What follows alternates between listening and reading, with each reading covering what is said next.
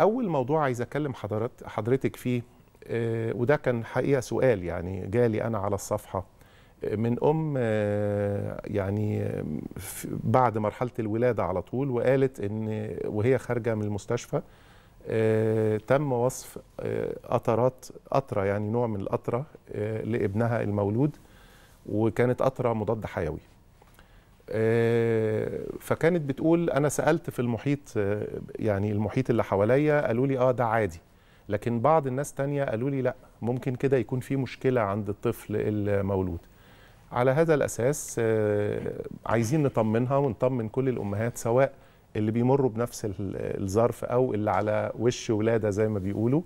هل إعطاء الطفل قطرات بعد العين آه، أمر روتيني؟ وهل ده بيحصل بعد الولادة الطبيعية ولا الولادة القيصرية ولا الاثنين وهل القطرات دي بتبقى مضادات حيوية فعلا ولا ممكن مضادات حيوية أو حاجات تانية؟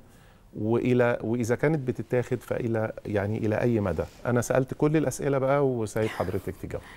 طيب آه آه مبدئيا يعني كده هو كل الأطفال لما يعني ما بتتولد مش بس دك يعني دكتور الأطفال ده دكتور النساء كمان بيكتب آه قطره مضاد حيوي للطفل بعد الولادة. آه يعني ده أمر سواء مفروغ منه. ولادة طبيعية أو ولادة قيصرية. تمام.